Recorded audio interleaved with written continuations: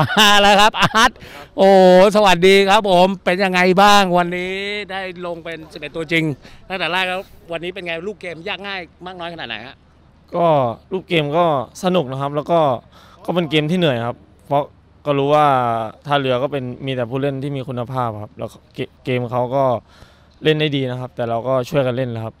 แล้วจังหวะที่เราทำ assist ได้เป็นไงฮะลูกนั้น ดีใจนะครับแต่ผมรู้สึก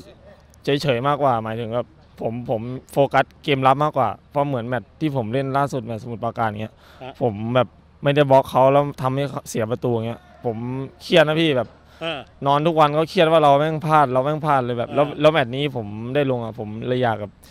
เลยอยากทำเกมรับให้มันดีอะซึ่งซึ่งเราก็มันก็เสียแค่จุดโทษอะครับ มันก็เลยทำให้เรารู้สึกว่าเออโอเคในระดับหนึ่งครับ โอเค แล้วในหมัดต่อไปเนี่ยมีการเตรียมตัวกันยังไงบ้างครับ ก็ต้องก็เตรียมตัวแหละครับก็ต้องพยายาม recovery ครับ แล้วก็ทุกคนก็พร้อมอยู่ครับ แล้วแต่โค้ชจะเลือกใช้อะไรอย่างเงี้ยครับครับสุดท้ายนี้อยากจะให้อาร์ตฝากขอบคุณแฟนบอลที่ติดตามชมเกมการแข่งขันในวันนี้ด้วยฮะก็